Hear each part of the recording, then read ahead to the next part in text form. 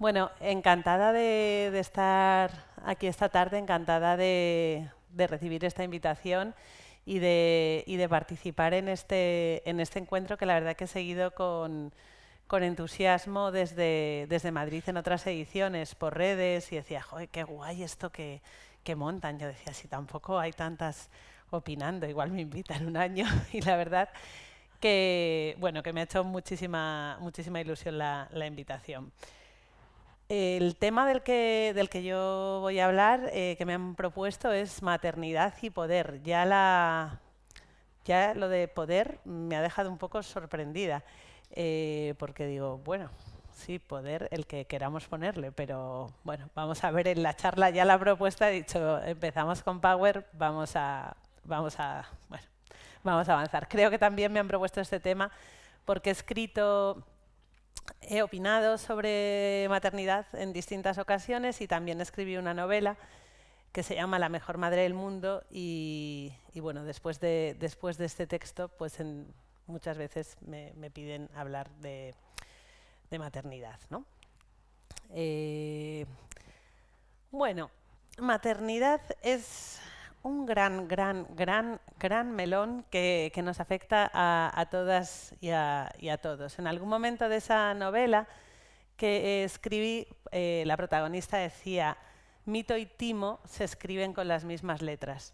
Y, lo cierto es que funciona exactamente así y en el caso de, la maternidad sucede que estamos muy llenos y muy llenas de prejuicios cuando sobre un tema no se ha pensado con, rigor o con, sí, con rigor o con un ejercicio intelectual casi preciso y científico, eh, pues solemos pensar, bueno, pues que no hay nada pensado, ¿no? Eso es lo que pensé yo cuando me puse a escribir La mejor madre del mundo. Había una, leía una psicoanalista, Helen Dodge, que decía, las madres no escriben, están escritas. Y dije, pues esta es la mía, ¿sabes? Ahora yo voy a escribir podré decir un poco lo que quiera. Eh, pero me encontré, o sea, pensé que estaba todo por, bueno, por, tomar la palabra y me encontré con que no es tan sencillo, porque en el tema de la maternidad hay muchos prejuicios. Donde no se ha pensado con, rigor no hay una página en blanco. Al revés, hay, un, hay una escombrera de, de, lugares comunes, de, obligaciones, de deberes, de sacrificios, de culpas que bueno, vamos a ir quizás desmenuzando esta, esta tarde. Me voy a levantar porque a mí me gusta moverme y me estoy aquí quedando quieta. Entonces, bueno, Débora Levy, si os la recomiendo muchísimo. Eh, bueno, vamos, voy a intentar tener un diálogo con vosotras y vosotros, pero también con algunas autoras que nos acompañarán. La feminidad, tal como la habían descrito los hombres y la habían interpretado las mujeres, era el fantasma agotado que todavía rondaba por los primeros años del siglo XXI.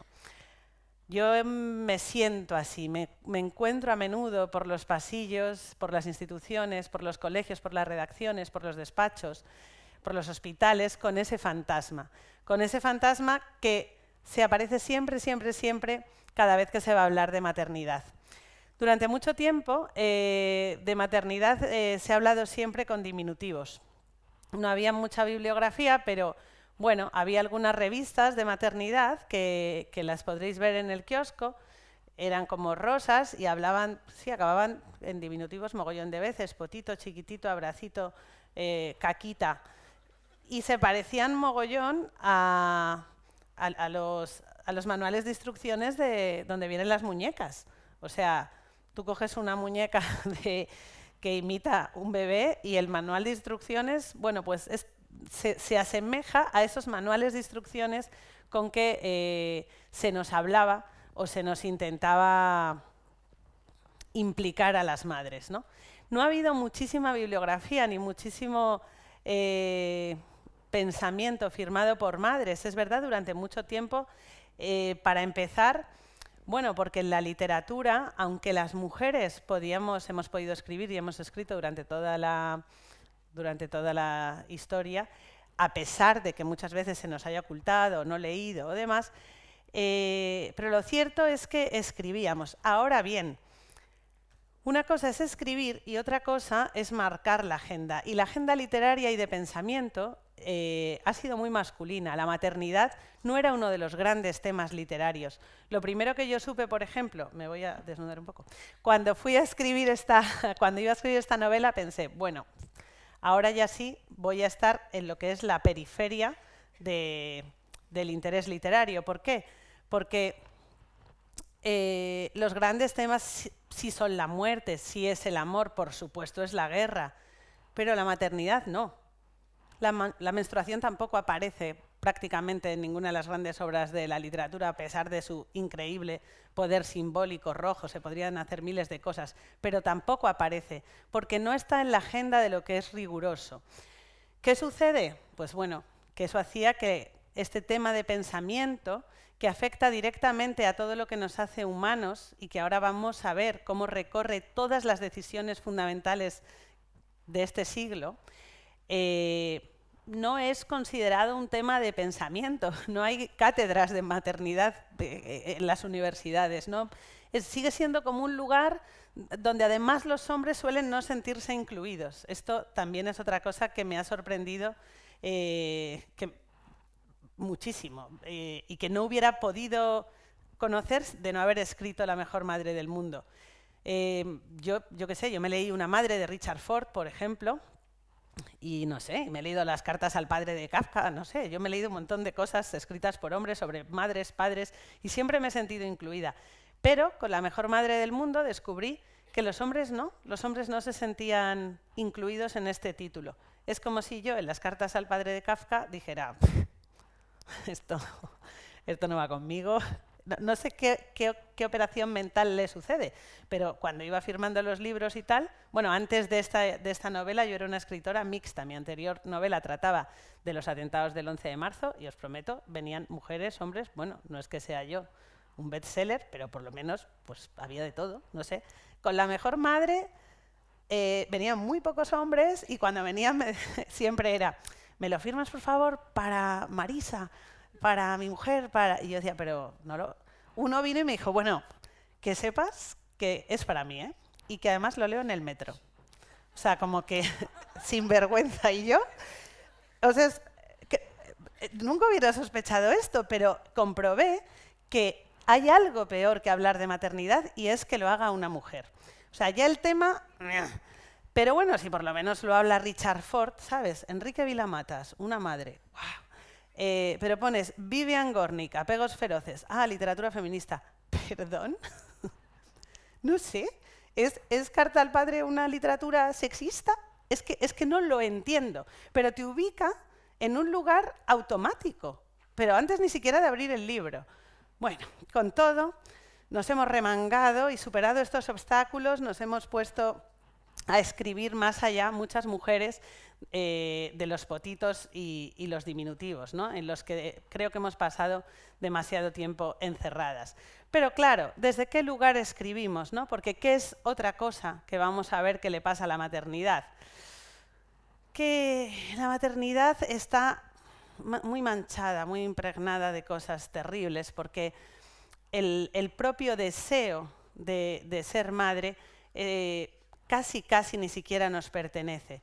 Es muy difícil saber qué relación tenemos con nuestra propia maternidad y con nuestro propio deseo de maternidad y con nuestro deseo mm, profesional o de ser otras cosas que, una potencia de madre, que es, mm, os invito a ir a cualquier juguetería de Pontevedra eh, al salir de aquí y veréis los pasillos y los juegos tan didácticos que hay para niñas donde sigue habiendo eh, un montón de carritos que empujar, da igual, no digo que da igual, pero estamos manteniendo a veces unos discursos súper punteros y chachis, pero mm, regalando ya el carro, la cuna, el bebé, el manual de instrucciones de cómo se cuida un bebé de plástico, que, bueno, bien, a los niños hemos dejado de regalarles pistolas, esto es verdad, eh, pero a las niñas les seguimos colocando todo el set, lo que es peor, a las niñas les colocamos un set que es eh, imposible de, manejar, que es lo que nos está pasando a las mujeres de mi generación, que es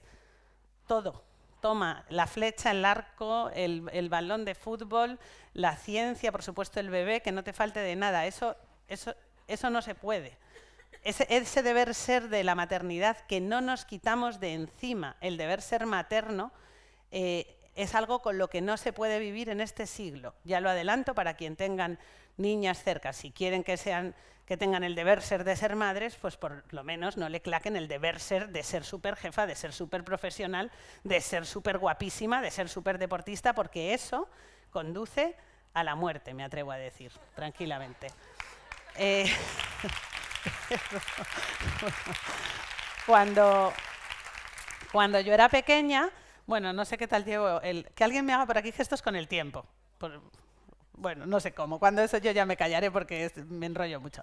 Cuando yo era pequeña, empezó Superman y nos decían a, pues, Clark Kent y tal, volando. Y yo me acuerdo que a mi hermano le decían, Jesús, mi hermano se llama Jesús, que tú no puedes volar, ¿eh? Que no te vayas a tirar desde un cuarto. Había mucha preocupación con los niños, claro, porque era como, ahora ya hay mogollón de superhéroes de Marvel, pero había mucha prevención. Esto, hay una diferencia. Esto, si tú lo haces, si tú intentas ser Superman, la diñas. Bien, pues después apareció Superwoman, que Superwoman sí que puede estar súper fit, hacer deporte dos horas, beber dos litros de agua, tener tres hijos, ser jefa, ir al gimnasio, estudiar, hablar cinco idiomas, estar aquí arriba como yo estoy ahora, pero también estar cuidando de mis hijas que no están aquí tranquilamente estupendas. Y eso nadie nos dijo que es tirarse de una ventana. O sea, eso, Superwoman y Superman, mal, solo en las pelis. En la vida real no puede ser. Pero a nosotras nos han colocado ese deber ser. Nos han puesto la capa pero, pero, con, la kriptonita encima. Gracias, todo, todo no. Me van, quitando algo. Y además, todo esto mezclado con, una chunguez máxima, esta frase es mía de, esta novela tan buena que recomiendo leer, eh, con un mito de la maternidad que es muy terrorífico y muy tenebroso, a ver, y, muy bien, y con todo el respeto a la historia de las religiones eh, y a la católica en particular, pero es verdad que tenemos un mito fundacional donde hay una mujer que se embaraza sin darse cuenta, sin querer, y aquí paz y después gloria. Y de hecho, quien aquí esto se está contando no es esa mujer, es muy contrario, no soy yo, nada parecía a la Virgen María y no me embarazaba sin querer. De hecho, yo me he tenido que embarazar queriendo mucho y en una clínica de fertilidad y pagando una pasta.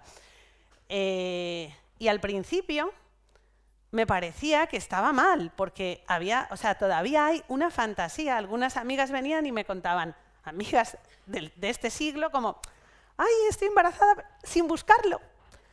Como si fuera clean, clean, clean, y yo pensaba, joder, qué guay sin buscarlo, esto sí que es guay. Yo, en cambio, voy a tener que querer y que pagar, qué mierda.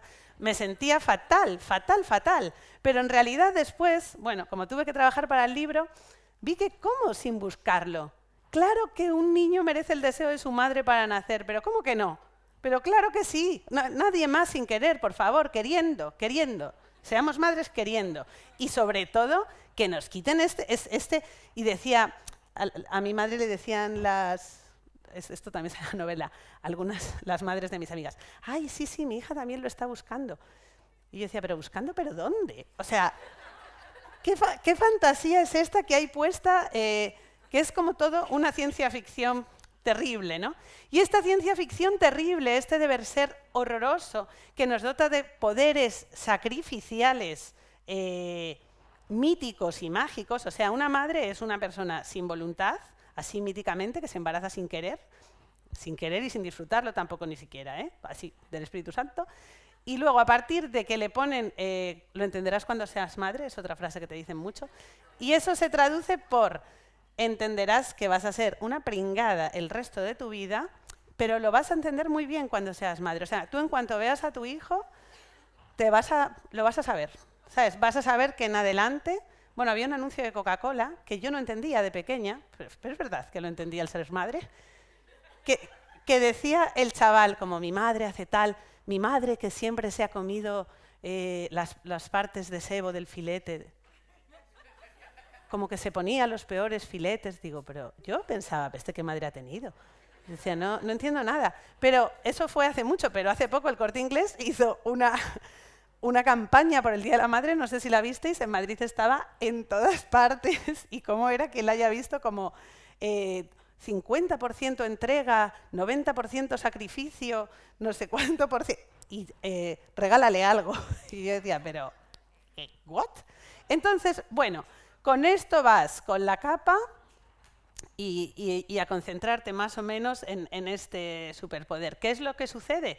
Que, es una empresa imposible en el mejor de los casos. Leemos a, a Duras, esto es del 87, pero dice ella, creo que la madre, en todos los casos o casi, en el caso de todas las infancias, en el caso de todas las existencias que han seguido esa infancia, la madre representa la locura, queda como la persona más extraña y más loca que uno ha encontrado jamás. Y pensad en vuestras madres. Pues así es. Así os lo Claro. Eh, y eso sucede todo el rato. Bueno, ahora quiero entrar en materia de lo que venía a opinar, pero me enredo con mi propia experiencia. Eh, sucede todo el rato y la locura, o sea, el, lenguaje de las madres a veces está cargado de locura, porque hay una anulación de la identidad para la que te van previniendo y entrenando desde pequeña. Para, eso de, bueno, tú cuando tengas al hijo, no, no, es gracioso, os quiero decir que igual lo cuento que parece, pero esto es así. Cuando tengas al niño tú desapareces, es lo, es lo que se siente además, una gran soledad y un gran nunca más voy a volver a ser yo o sea, nacen dos en el parto. Nace un bebé y nace una madre. Y eso hay que lidiar con las dos realidades. Pero bueno, una cosa que sucede eh, en, la, relación con la locura es que se va borrando la identidad. Y borrar la identidad de una persona efectivamente es volverla loco. Y veréis que muchas madres, todavía hoy, con este entrenamiento nefasto que tenemos, eh, en los primeros años de crianza empiezan a hablar en plural y usan un que es el borrado total del yo. Y además no es un plural cualquiera, es un plural que siempre se refiere para lo negativo. Por ejemplo, eh, hemos dormido fatal, estamos hoy que no hay quien nos aguante. Eh, y, pero empiezan a poner fotos de, en WhatsApp de, otra persona, que no son ellas, que es el bebé. Los padres no hacen esto, los padres siguen siendo ellos con su traje y su ropa, pero las madres de pronto desaparecen y te escriben así, hemos dormido no sé cuántos, eh, eh, pues a ver si comemos, pero de pronto luego es que es preciosa. Ese sí es el, singular. O sea, todas las cosas buenas del hijo son del hijo. Los marrones, en adelante, compartidos para siempre jamás. Bueno, eh, claro, y aquí viene ya voy a ir entrando en materia de este es el campo de batalla. O sea, para mi gusto, bastante mal. Y con esto, ¿cómo vamos a la vida? ¿Cómo vamos al trabajo? ¿Cómo, cómo vamos a la política? Porque si la maternidad todavía hoy es entendida casi como lo de los potitos, el carrito, la locurita, el hemos dormido fatal, el deber ser, la realización máxima de las mujeres, esto después, ¿cómo se gestiona en, la vida pública? Eh, uh, eh, vamos a ver, porque hay una montada bastante buena. ¿Quiénes son las madres? Es una pregunta absolutamente pertinente en este siglo, porque están pasando muchas cosas donde las madres ya no son ni siquiera eh, quienes han sido durante, toda la historia de la humanidad. Hay una revolución de la maternidad y de las técnicas de reproducción asistida que ahora veremos. Pero además de quién son los hijos. ¿Cómo que son solo de esas pobres mujeres, por ejemplo, yo, que tenemos que criar, crear, trabajar y llevar una capa para que luego, o sea, cuando está todo esto pensado para que esos hijos luego paguen unas pensiones del, total? ¿Y, por qué yo me tengo que sacrificar tanto para que luego las cosas vayan bien en, el futuro? Y además los hijos son solo míos, la educación de mis hijos es un asunto que depende solo de mí. Eh, la salud mental de mis hijas de verdad depende solo de mí, pero si yo las tengo que mandar al colegio y en serio depende solo de mí, pero les dejan usar, nadie va a regular todo el porno que sale en redes sociales, o sea, los hijos no son de las madres, otra cosa súper importante aclarar, son de todos y de todas. Mis hijas no pueden ser solo mías, si no, me harían a coreta y me iría a vivir en una cueva con ellas, pero ¿sabéis qué pasa? Que no, que vivo con ellas aquí. Y aquí es un lugar muy particular donde los niños y los mayores se están quedando solos porque no hay nadie en las casas. Es mentira que haya un reparto, no hay ningún reparto, lo que no hay es nadie. Eh, esto es de mi siguiente novela, El último hombre blanco, eh, donde la protagonista es una mujer de éxito, madre, que, oye, lo ha conseguido todo, no ha dicho que no a nada, como, como decía antes mi compi. Claro, no dices que no a nada, a por todas. Ha hecho tanto, tanto, que se ha convertido en un tío. Porque hay una cosa que debemos pensar y reflexionar muy seriamente, y es que estamos creyendo que cuando las mujeres lleguemos al poder cambiaremos el poder. Pero ya os digo que hasta la fecha, cuando las mujeres han llegado al poder, quienes han cambiado han sido ellas mismas. Y no han podido, no han podido, porque una sola mujer, o dos mujeres, o cinco mujeres, no pueden cambiar las cosas buena noticia que os traigo también, o sea, una minoría no puede cambiar las cosas. Por eso no es que esas mujeres que llegaran al poder, que encima lo parece, no, es que la marga de Thatcher llegan para ser tíos, son peores que ellos, toda esta mierda. No, no, es que nadie que sea una minoría puede cambiar las cosas. Pero no somos minoría, no estamos en igualdad, pero ya no somos el 5%, el 30% de los consejos de administración. ¿Casualidad? que recientemente se ha descubierto en la política, me da igual quién lo haya traído, que las mujeres en el trabajo tenemos la regla. Yo no lo había oído esto en mi vida, ¿vale? O sea, en mi vida. He trabajado en un montón de redacciones, he visto en las mesas rayas de cocaína. Esto se está retransmitiendo, pero no diré dónde.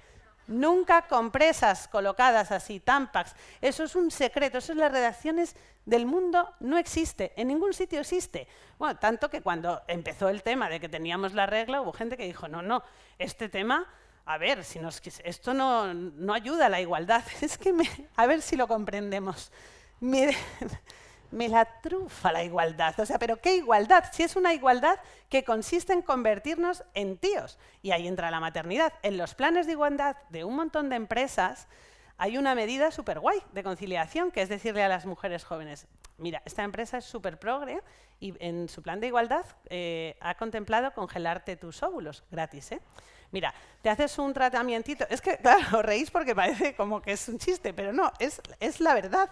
Eh, te haces un tratamiento de hormonas y tal, y bueno, nada, luego pues pasas por quirófano, oye, fenómeno.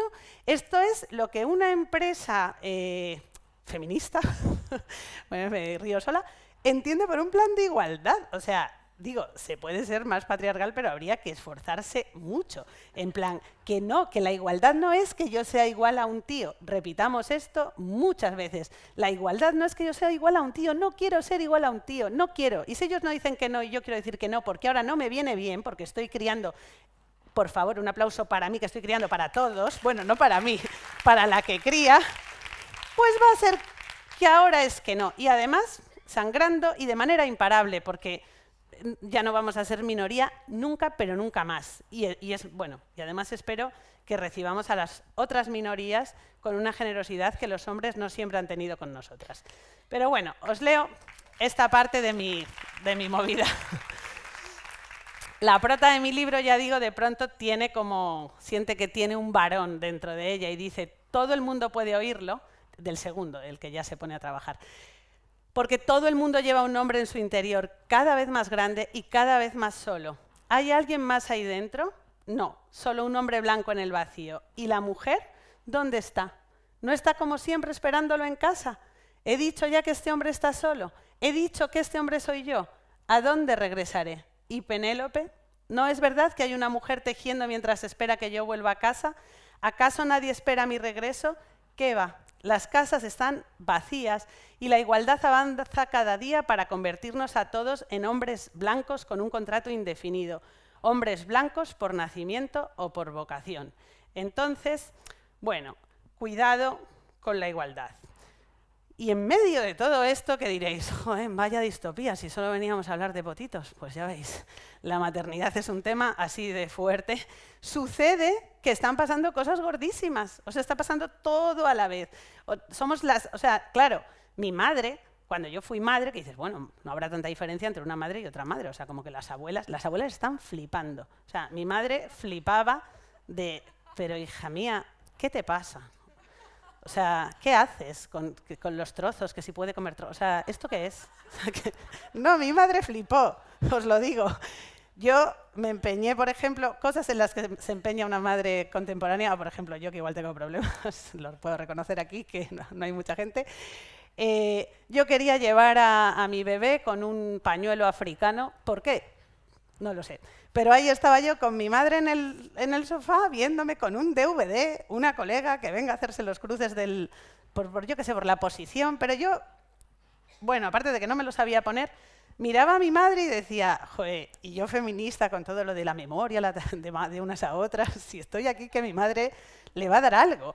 Pero es que, claro, realmente mi maternidad luego dijo, no, porque pensé, es que, es que eres una torpe, no, pero no, es que nuestra maternidad no tiene nada que ver, sí que somos las primeras madres del mundo por todo esto, porque somos las primeras en congelar nuestros óvulos, eh, somos las primeras a las que una empresa les va a sentar para decirles, oye, ¿por qué? Gratis, congelación, congelación.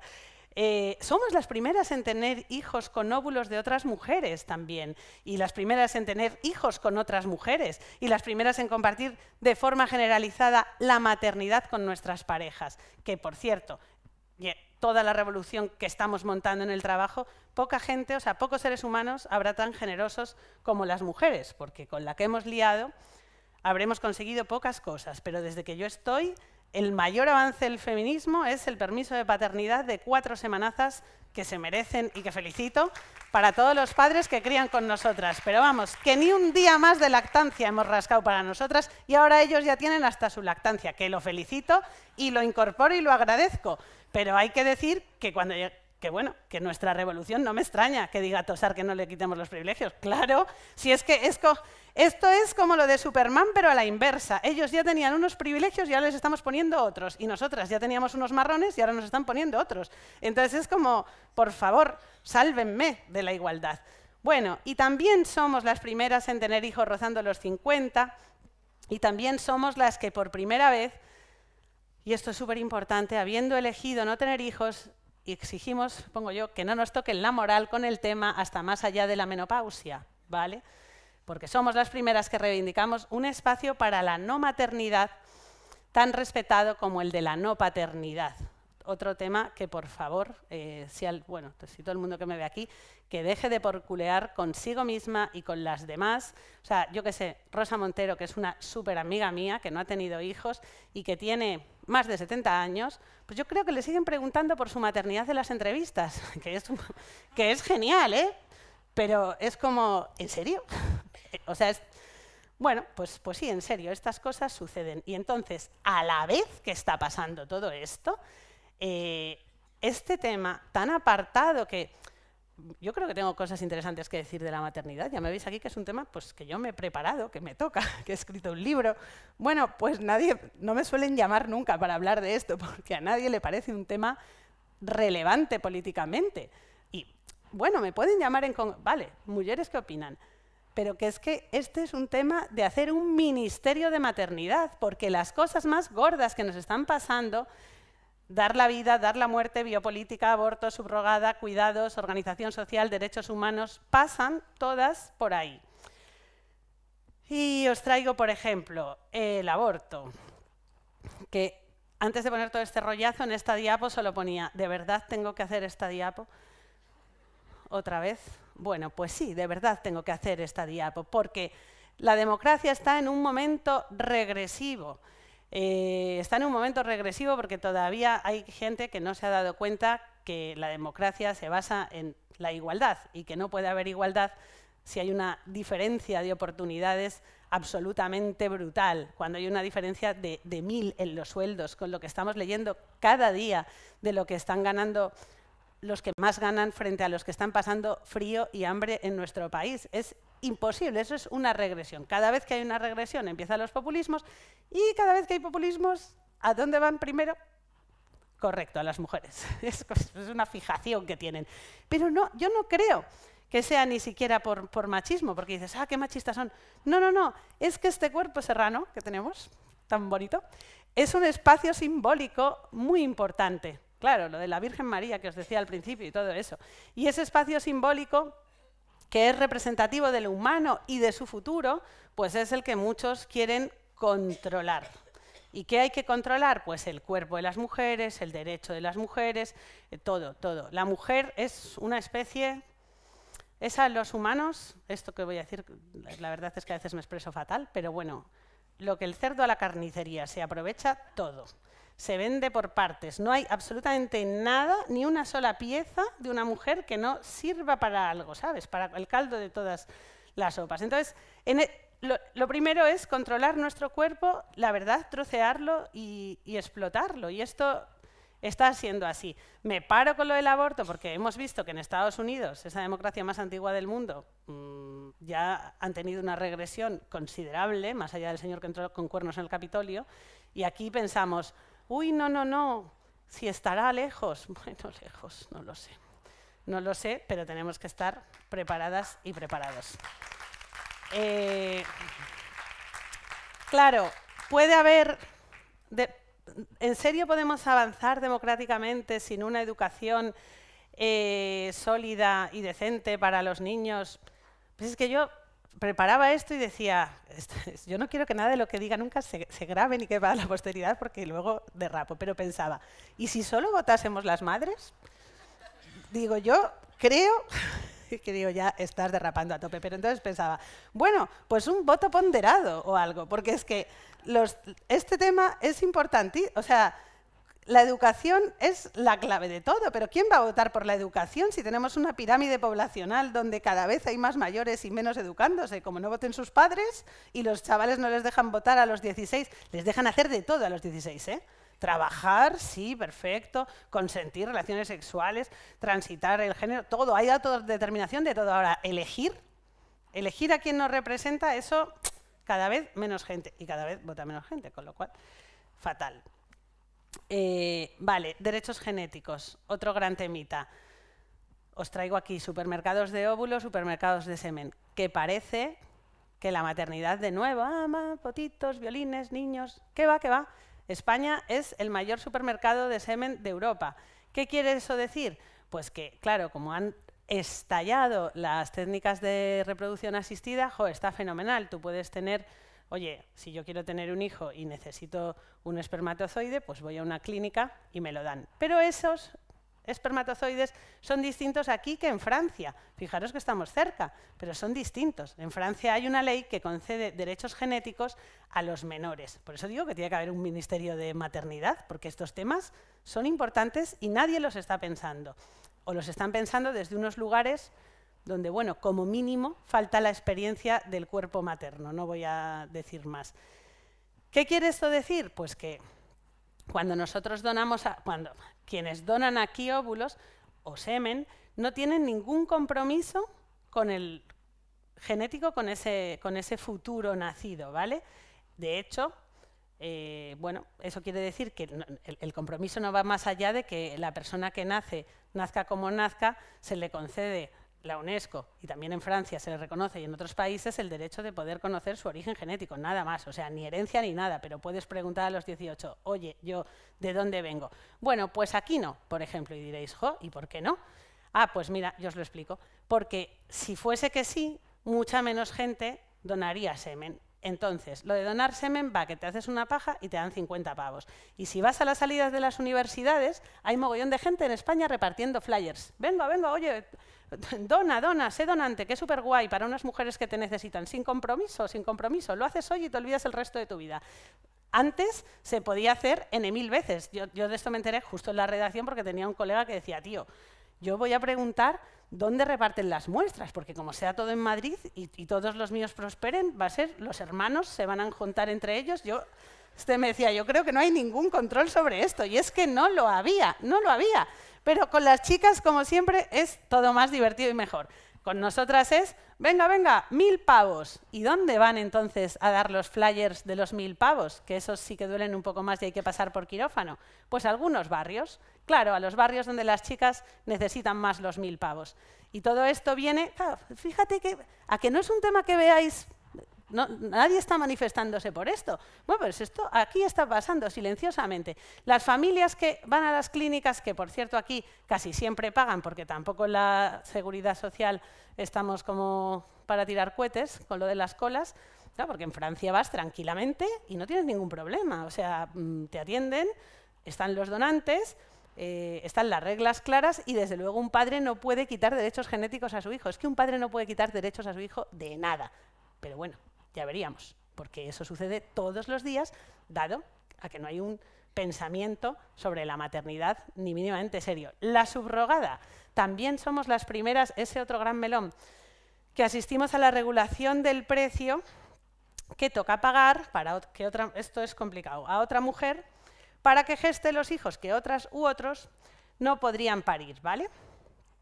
Esto normalmente se paga y a veces dicen que no se paga, bueno, como en Canadá, que dicen que es voluntario. Bueno, eh, ya veríamos, pero bueno, cuando no es voluntario, entonces hay un contrato, se firma un contrato y la gestante, y esto es alucinante, pero ya os digo, este tema, ¿por qué no está? O sea, ¿por qué no se habla de esto en plan, y mogollón de juristas hablando de esto? Bueno, pues lo que hace la gestante es ceder los derechos de filiación del nacido.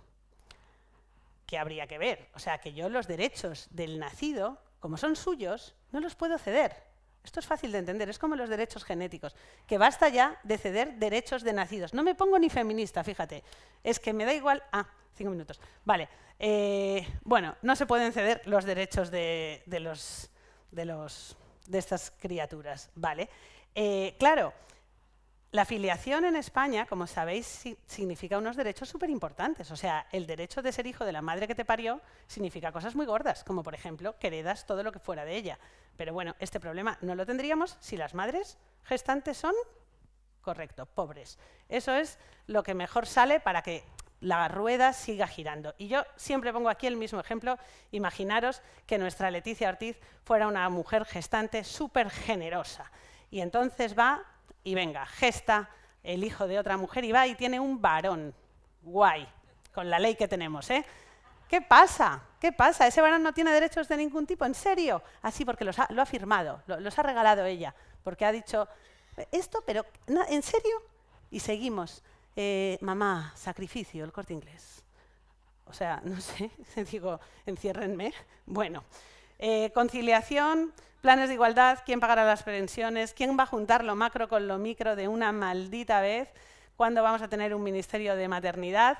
Y ya para acabar, creo que cumplo hasta con el tiempo, eh, esta frase que me hace mucha gracia de Simón de Beauvoir, que dice, esto lo, dijo al parecer antes de, escribir El segundo sexo y dijo, nunca había tenido sentimientos de inferioridad por ser mujer. Nadie me había dicho, piensas así porque eres una mujer. La feminidad nunca había sido una carga para mí. Bueno, pues eso, que ya es difícil de creer, eh, si lo cambias por madre, ni una lo firma. Si hemos tenido eh, sensación de inferioridad por ser madres, siempre nos han dicho, piensas así porque eres una madre, no solo eso, lo entenderás cuando seas madre, es como otra universidad, tú puedes formarte lo que quieras, en lo que te dé la gana, pero después, efectivamente, hay como un rayo de luz, eh, hay un desvelamiento, no sé, mítico, que es que está la formación innata de cuando seas madre lo entiendes todo. Y la maternidad sigue siendo hoy, desgraciadamente, una supercarga para todas nosotras, madres y no madres. Y ya con esto acabo.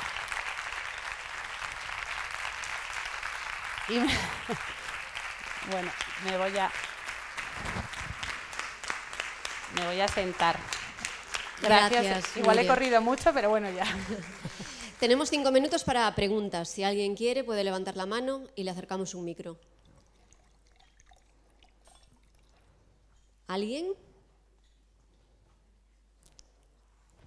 Pues hemos desaprovechado cinco minutos. Seguro que nadie quiere preguntarle nada. Con, lo, apurada que he ido. ¿Sí? Decidme algo, tío. Sí. María Guerra pregunta a Nuria Lavare. Hola, ¿qué tal? Yo quería preguntarte por, la generación de tu madre. Eh, ¿Cómo la ves tú a ella? ¿Cómo has visto su, eh, después de haber analizado la maternidad siglo XXI, cómo ves la maternidad de tu madre y de su generación? Madre mía, claro, da para, es que es un tema, me da casi para otra hora. Eh, claro, a mi madre, a su generación, a nuestras madres, a, nuestras abuelas, ¿no? Eh, pues tendríamos que lo peor, creo que es el peor sándwich posible porque es verdad que la, respuesta, yo sé, la respuesta correcta a esta pregunta es decir, creo que les estamos muy agradecidas, nuestra memoria se une la una con la otra, no hubiéramos llegado, todo esto lo sabemos, así que eh, no, y todos los Oscars son siempre para las madres, pero la verdad es que yo tengo mucha tristeza cuando veo a la generación de mi madre porque les ha salido mm, muy mal muchas cosas. Han, dado todo absolutamente por sus hijos en un contexto de un nulo reconocimiento por parte de sus parejas, de los propios hijos, de las instituciones, nulo reconocimiento, tan nulo, tan nulo, tan nulo, que cuando ahora lo piden y se atreven a reclamarlo ya mayores, aún parecen pedigüeñas, ¿sabes? O como víctimas. Hombre, a ver, mamá, si querías haber trabajado, haber trabajado. Hombre, a ver, fue tu vida. Hiciste cada uno juega sus cartas. Me parece eh, que habría que restaurar esa memoria, pero con menos estatuillas y menos mi madre, mi madre, y de verdad reconociendo el daño y el trauma que tienen tantas mujeres que han hecho todo absolutamente, o sea, que han renunciado de esa ese deber ser sacrificial sobre el que yo puedo bromear, fue ninguna broma para mi madre. Ninguna broma para ella y ninguna broma para mi abuela y a mí no me hace ninguna gracia y no hay ninguna palabra ni ningún aliento que yo pueda darle ni ningún agradecimiento eh, para borrar eso, que me parece infame.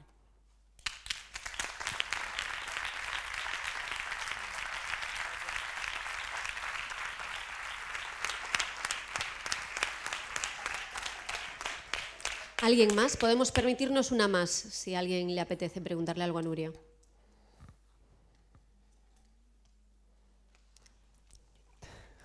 Pues entonces nos vamos a ir a tomar un café y ahí tenéis el puesto de libros si queréis llevaros algún libro de Nuria y ella capaz de renunciar al café por firmar libros. Hombre, lo que queráis.